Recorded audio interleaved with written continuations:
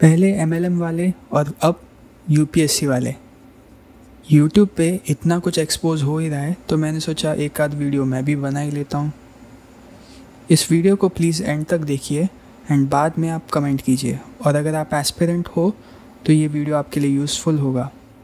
कोई है आप में से जो खुल के बात करना चाहेगा? प्रिपरेशन अभी से स्टार्ट कर रहा हूँ ग्रेजुएशन के अभी आप स्टार्ट कर रहे हो? यानी आपने ज्वाइन कर लिया है या अभी नहीं कर लिया सर ज्वाइन कर लिया। एट मंथ हो चुके। बहुत सारी चीज़ें अब देखो ये जो एस्पिरेंट है उसने क्या बोला?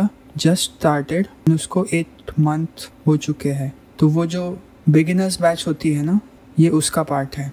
नई नई सीखने को मिलती हैं। अभी जैसे बाहर रह के हम टर्म सुनते हैं कुछ भी नया वहाँ जाके हमें पता चलता है एक्चुअल में ये है क्या। उस जानकारी का क्या करोगे? आगे इन्फॉर्म काम आएगा ये तो। आगे कहाँ काम आएगा? मतलब कहीं जॉब करने जाओगे तो काम आएगी जानकारी? सर आएगा। वहाँ पर तो नहीं सर बस ये सोशली और जो थोड़ा इंटेक्चुअल और मेंटली ये सब डेवलप्ड हो जाएगा।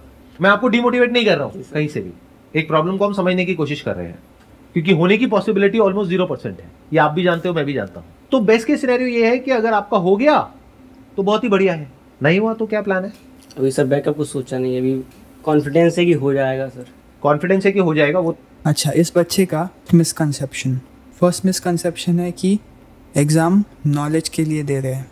एंड ये काफ़ी नॉर्मल सी बात है क्योंकि ये बच्चा बिगिनर्स बैच में है एंड इसे कोई आइडिया ही नहीं है कि एग्ज़ाम की डिमांड क्या है एंड सीरियसनेस नहीं है अभी करियर का। एंड इसीलिए इसने कोई बैकअप भी नहीं सोचा है। आप मुझे ये बताओ कि ये आपने किया क्यों? ज्वाइन क्यों किया है? बैगिंग का काम बहुत ज़्यादा है दिल्ली में। इतना मेरे यहाँ वहाँ नहीं होता है। तो यहाँ के लगता है बोले इसका भी कुछ सोल्यूशन होना चाहिए। ये गलत फहमी हमारे माइंड में कहाँ से आ गई? सेकेंड मिसकनसेप्शन इस बच्चे का है कि वो पुअर की या सोसाइटी की हेल्प कर सकता है। लेकिन प्रॉब्लम यह है कि वो सोसाइटी की हेल्प अपनी मर्ज़ी से नहीं करेगा, बल्कि उसको बोला जाएगा। वो पॉलिसी इम्प्लीमेंट करेगा, ना कि बनाएगा। और ये जो बात कहते हैं ना कि इतने परसेंटेज उतने परसेंटेज तो सर रिस्क नाम की भी कोई चीज़ होती है।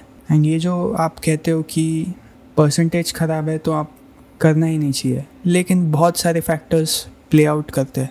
तो बस नंबर के बेसिस पे एटलीस्ट एस्पिरेंट्स तो डिसीज़न नहीं लेते हैं। एंड लाइफ में थोड़ी मैडनेस तो होती है।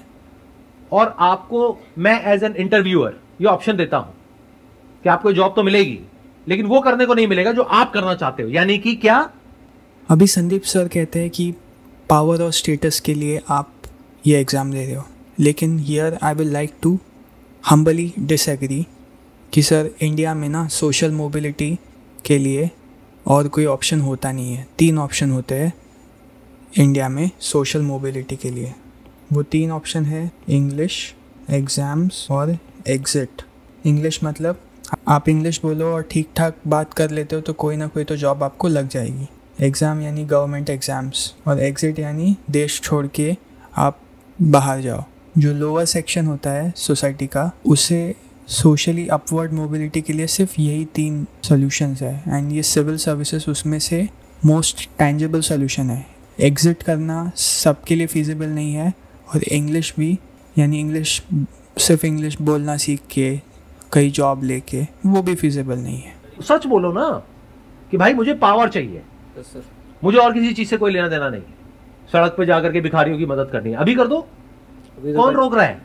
चलो एक काम करो मैं आपको ऑफ़र देता हूँ। देखते हैं कितनी मदद करते हो आप भिखारियों की। आप जा करके अगले एक महीने तक भिखारियों की मदद करो सड़कों पे। उसके लिए जो पैसा लगेगा मैं दूँगा आपको। लेकिन आपको दिन में बारह घंटे काम करना होगा। और एक महीने तक आप यहाँ पे नहीं जा पाओगे, जो भी आपकी कोचिंग है। अब बोलो यस सर अब इंटरेस्टिंग क्या हुआ? जो सर ने ऑफ़र दी थी ना उस बच्चे को, उसने एक्सेप्ट कर ली। बट बाद में जब उन्होंने बोला कि कोचिंग नहीं जा पाओगे, तब वो कहता है कि, अरे नहीं, ये तो नहीं हो पाएगा। बेसिकली हर एक एस्पिरेंट जब स्टार्टिंग में होता है एग्ज़ाम देने से पहले एटलीस्ट वो लोग जेन्युइनली काम करना चाहते हैं, वो लोग जेन्युइनली सोसाइटी के लिए काम करना चाहते हैं। लोग, लोगों को ये चीज़ समझ नहीं आती। और रही बात, ये जो पावर और स्टेटस की बात कर रहे हैं, कि हम लोग सिर्फ़ उसके लिए ही जॉब करते हैं। तो ये बच्चा है तो इसे पता नहीं है। अगर कोई पुराना एस्पिरेंट होता तो वो क्या बोलता कि ये एक बस एक जॉब है one of the many jobs है। अपवर्ड सोशल मोबिलिटी के लिए मुझे ये जॉब करनी है। एंड मैं अपने लाइफ के तीन साल इसे दूँगा। उसमें नहीं होता है तो मेरा ये बैकअप है। सिंपल आर्ग्यूमेंट वही ख़त्म हो जाती। लेकिन सिंस ये बच्चा है तो फिर बैक एंड फोर्थ चालू है। बोलो आपके लिए इंपॉर्टेंट क्या है? ये कोचिंग या फिर मदद करना? सड़क पे जो भिखारी है उनकी। अगर वो इंपॉर्टेंट है तो कोचिंग गई भाड़ में। मैं आपको एक ऑप्शन दे रहा हूँ। ओपन ऑप्शन देखते हैं आप ये एक्सेप्ट करते हो नहीं करते। यूपीएससी क्रैक करने के बाद में आपको जो सैलरी मिलेगी। लेकिन दिन में 12 घंटे आपको वो करना पड़ेगा जो आप कह रहे हो। यानी 12 घंटे दिन में सुबह से लेकर के रात तक भिखारियों की मदद करनी होगी। बोलो, ऐसा कौन सा कॉज है जिसके लिए आपके अंदर से आ रहा है? अगर आ रहा है तो। या फिर सच बोल दो कि नहीं नहीं, ये भिखारी भिखारी की तो सब बातें हैं, मुझे कोई फ़र्क नहीं पड़ता है। मैं रेड लाइट पे खड़ा होता हूँ कोई भिखारी आता है मैं उसको भगा देता हूँ। स्टार्टिंग से सर यही है जब पहली बार सोचा था तब यही था लोगों को देख के। लेकिन जब आप मेरी बातें सुन रहे हो तो रियलिटी सामने आ रही है और समझ आ रहा है कि मेरे को भिखारियों से कोई मतलब उस टाइम सर ग्लैमर और ये सब नहीं देखा था कि स्टेटस यार इससे ये सब मिलता उस टाइम तभी ये सब नहीं था कुछ भी। उस वक्त भिखारी था उस टाइम अभी ग्राउंड लेवल पे जो है वो कर अब तो ये सोशल मीडिया के थ्रू और बढ़ता जा रहा है। हाँ अब आई ना असलियत देखो एक एक करके चीज़ें सामने आ रही हैं। तो बेसिकली सर को ये जो सोशल मीडिया वाला पॉइंट है सोशल मीडिया वाला पॉइंट ये चाहिए था। अब, यहाँ तक वीडियो देखने के बाद मुझे लगा कि वो एंट्री एग्जिट वीडियोस की बात करेंगे।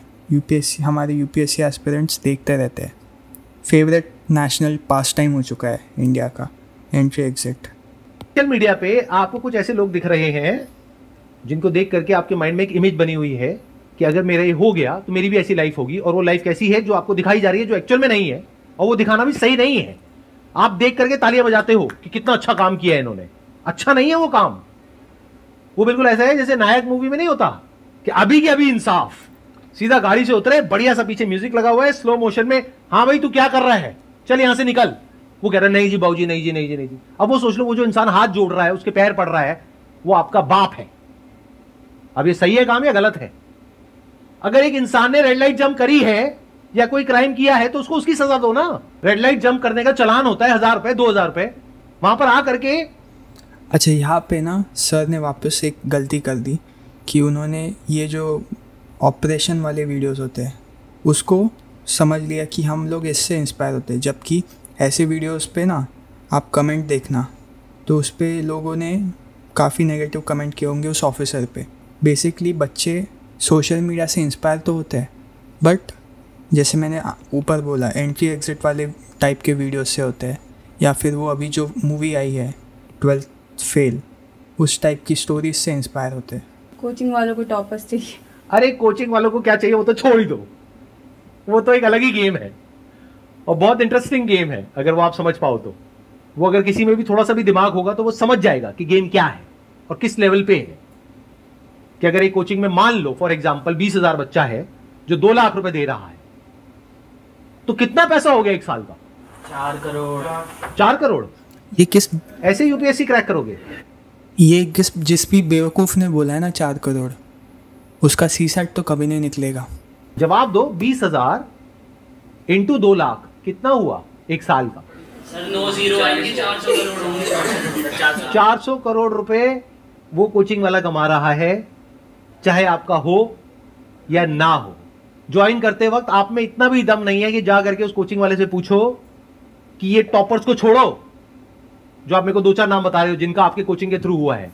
मुझे एग्जैक्ट नंबर दो कि पिछले साल कितने लोगों ने आपके यहाँ से किया, उसमें से कितनों का हुआ और कितनों का नहीं हुआ। एक्चुअली यहाँ पे भी एक मिस्टेक है, क्योंकि एक बच्चा कभी भी एक कोचिंग को लगाता ही नहीं।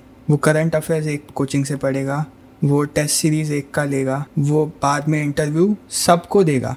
इंटरव्यू प्रेपरेशन के लिए सबके मॉक इंटरव्यू देगा। तो इसीलिए ये जो परसेंटेज वाला चीज़ है, वो यूज़फुल नहीं है। हैविंग सेट दैट आपको सक्सेस रेट देखना चाहिए कोचिंग का। बट जो कोचिंग एक्चुअल में जेन्यनली किसने स्टार्ट की है, वो भी देख सकते हो। जैसे अगर कोई स्टूडेंट है, वो आपको सिखा रहा है। तो वो ज़्यादा यूज़फुल होगा। आप किसी एक हज़ार बच्चों के क्लासेस में से सीखोगे। एंड ऑनेस्टली आपको मैं बताऊँ तो ये जो यूपीएससी की कोचिंग है ना, उसमें और आई I T J double E की कोचिंग में एक बेसिक डिफरेंस है। वो क्या डिफरेंस है? यूपीएससी की कोचिंग ऑनलाइन हो सकती है but I I T J double E की ऑनलाइन नहीं हो सकती। क्यों? क्योंकि जब एडवांस के आप क्वेश्चन करोगे तो उसमें आपको डाउट्स आएँगे एंड वो डाउट सॉल्व करने के लिए ऑन द स्पॉट सॉल्व होने चाहिए एंड उसके लिए टीचर के साथ फिजिकली होना इंपॉर्टेंट है। एंड यूपीएससी का मेजॉरिटी चीज़ उसमें कुछ ऐसा रॉकेट साइंस तो है नहीं कि समझ में नहीं आएगा। एट द एंड आपको याद ही करना है। फैक्ट्स है जो कि आपको याद करने हैं। अब भले ही वो फैक्ट आप गधे की तरह रटो या फिर स्मार्टली रटो फैक्ट्स ही है। तो कोई बताता नहीं है ना अपने बारे में। तो रियलिटी पता करो। क्या ये स्किल हमारे अंदर होनी चाहिए या नहीं होनी चाहिए? इंपॉर्टेंट है या नहीं है? होनी चाहिए। देखो कोई आपको रियलिटी नहीं बताएगा। इस गलत फहमी से बाहर आ जाओ कि कोई आपको रियलिटी बताएगा। वो पता करना आना चाहिए। अच्छा सर कह रहे हैं कि आप कोचिंग वालों से ही पूछो उन स्टूडेंट का जिनका एग्ज़ाम नहीं हुआ है। पहली बात तो वो लोग ऐसा इन्फो देंगे ही नहीं क्योंकि वो नहीं चाहते कि नेगेटिव मार्केटिंग हो। क्वेश्चन पूछना तो सीखो। हम जा करके वहाँ पे क्या कहेंगे कि हमें रेफरेंस दो ऐसे किसी का जिसका हो गया है क्या मैं उनसे बात कर सकता हूँ आपकी कोचिंग को ज्वाइन करने से पहले? और वो पहले तैयार है इस क्वेश्चन को कहेंगे आगे एक और भी लो करो बात। और वो बंदे बात करने के लिए तैयार बैठे अरे बहुत बढ़िया है जी बहुत बढ़िया है। आप क्वेश्चन ही बेकार के पूछते हो हमें अच्छा दूसरी चीज़ कोई भी स्टूडेंट अब मैं यहाँ पे डिसएग्री करना चाहता हूँ सर से कोई भी स्टूडेंट जिसने किसी चीज़ में अ, कोई भी स्टूडेंट जिसने कोई भी कोचिंग ले ली है अब वो फेल हुआ या पास हुआ। दोनों केस में बहुत ज़्यादा प्रोबेबिलिटी है कि वो कोचिंग की बुराई नहीं करेगा। रीज़न ये है कि हमारा एक बायस बन जाता है कि मैंने वो चीज़, जैसे मैंने वो कोचिंग ली है तो वो अच्छी है। मेरा नसीब ख़राब था, इसलिए नहीं हुआ। तो ये चीज़ वर्क नहीं करेगी कि आप किसी स्टूडेंट से पूछो। आपको खुद ही उनके लेक्चर्स देख के या कोचिंग किसने चालू की है, वो वो आज तक उसने खुद ने भी कभी एग्ज़ाम निकाली है या नहीं, वो सब देखना पड़ेगा। पता ही नहीं कि इन्फॉर्मेशन को निकालते कैसे है। उनसे जा करके बोलो कि मुझे नहीं पता करना कि आपके यहाँ पे कितनों का हुआ है। क्योंकि मुझे नहीं पता कि उनका एक्चुअल में आपके यहाँ से हुआ भी है या नहीं हुआ है। आई डोंट नो दैट हो सकता है कहीं और से हुआ है सेल्फ स्टडी करके हुआ है और नाम आपका आ रहा है। तो मुझे बस दस ऐसे लोगों का नंबर दे दो जिनका नहीं हुआ है। मतलब वहाँ पे जो बच्चे पढ़ रहे हैं, अगर बाहर आप जा करके एक दिन के लिए जासूसी करो, वहाँ पे बाहर खड़े हो जाओ, जहाँ पे पान की दुकान होगी, चाय की दुकान होगी, वहाँ पे जा करके उन बच्चों से बात करो तो बहुत कुछ आपको समझ आए चाहो तो बहुत कुछ पता कर सकते हो, वो अलग बात है कि हम करते नहीं